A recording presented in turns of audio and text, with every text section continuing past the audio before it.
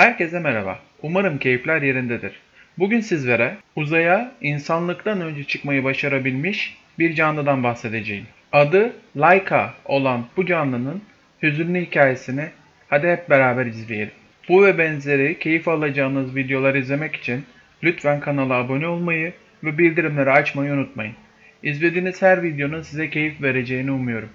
Şimdiden iyi seyirler. İkinci Dünya Savaşı sonrasında çeşitli anlaşmalarla ateşkes ilan eden ülkeler kendi yaralarını sarmak adına kendi problemlerine yönelmişlerdir. Birçok ülke kendi iç problemleriyle boğuşurken Amerika ve Rusya dünyanın stratejik sömürge bölgeleriyle ilgili içten içe mücadele etmeye devam etmişlerdir. Günümüzde Soğuk Savaşı olarak adlandırılan bu süreçte iki ülke birçok alanda olduğu gibi uzay ve astronomi alanlarında da mücadele içine girmişlerdir. İşte Laika'nın hikayesi de burada başlamaktadır. Uzaya ilk kim çıkacak, Ay'a ilk kim gidecek sorularına cevap bulmaya çalışan iki ülke çeşitli deneyler yapmışlar ve bu deneylerden bir tanesi de Laika olmuştur. Ruslar ve Amerikalılar o zamana kadar çeşitli canlılarla uzaya dair araştırmalar yapmaya çalışmışlardır. Yapılan testlerle elde edilen sonuçlarla astronot veya kozmonotların uzaya çıktıklarında karşılaşacakları durumları anlamaya çalışan bilim insanları Amerika'da daha çok maymunlar üzerinde deney yaparken Rusya'da kediler ve özellikle de köpekler üzerinde deneyler yapmaktaydılar. Ruslar genelde kullandıkları canlıların evsiz ve sokaktan toplanmış canlılar olmasına özen gösteriyorlardı. İşte Laika da bu köpeklerden birisiydi. Laika'nın hikayesinin bu kadar özel olmasına sebep olan şey Laika'nın uzayın yörüngesine gönderilecek roket için seçilen canlı olmasıdır. Ruslar Laika'nın üzerinde çeşitli uygunluk testleri yaptıktan sonra rokette yolculuk edebileceğine kanaat getirmiş ve bununla ilgili tüm dünyaya duyuruda bulunmuşlardır. Çok ciddi bir tanıtım kampanyasının ardından Laika'nın uzaya gönderilecek ilk canlı olduğu duyurulmuş ve Amerika'ya uzaktan gözdağı verilmiştir. Laika'nın adı kullanılarak birçok reklam yapılmış ve bu reklamlarla minik köpek daha uzaya gitmeden meşhur edilmiştir. İçecekler, sigaralar bu tarz reklamların sadece bazılarıdır.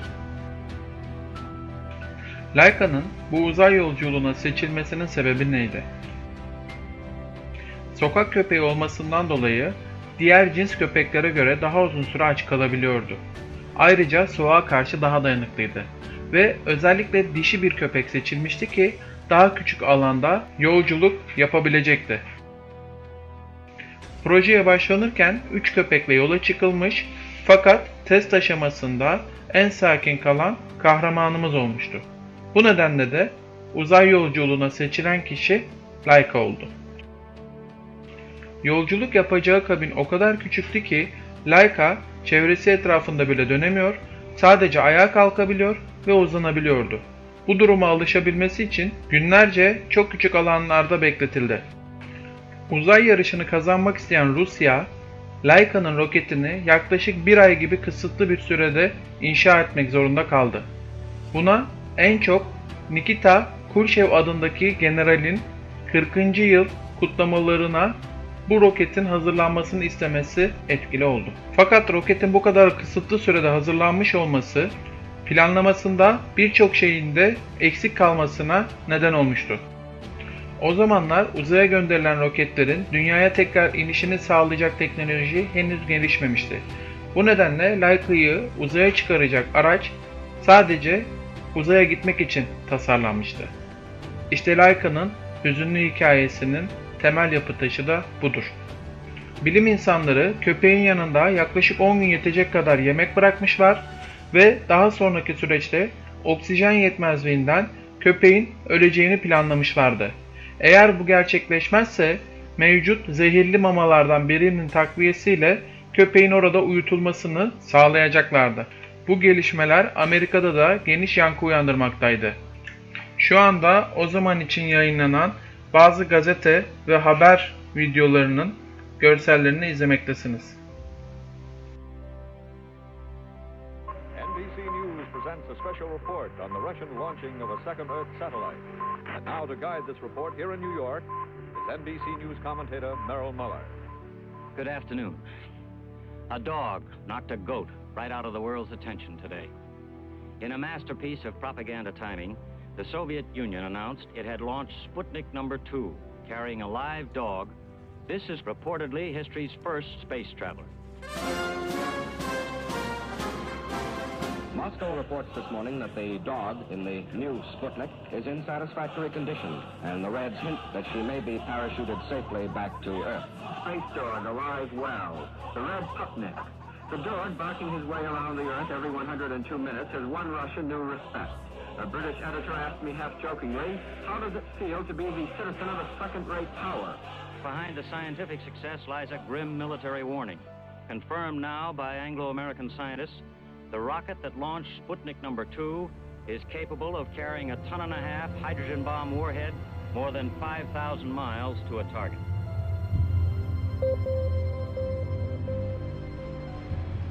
Tabii ki bu gelişmelerle ilgili dalga geçenler ve alaycı bir şekilde haber yapanlar da vardı. İşte onlardan bir tanesi de şu anda ekranlarınızda. The kind of thing that a month ago would have sounded like a joke, but in Washington now, anyone who cares to laugh at this does so at his own risk. The Russians are talking about shooting up something that will hit the moon and possibly even make some kind of mark on it, visible from the Earth. Hatta o zaman adına şarkılar bile yazıldı. When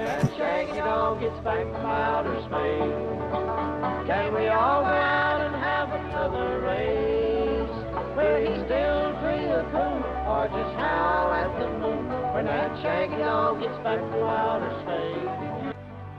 Oh, they'll pin a red, red ribbon in his hair For being the only dog that's been up there He'll be the talk in every town When that Sputnik comes back down For he has been the highest in the air Bütün bu karışıklığın içerisinde 7 Kasım 1957 tarihinde roket fırlatmaya hazırlandı ve kahramanımız Vayka uzay yolculuğuna bu tarihte başladı.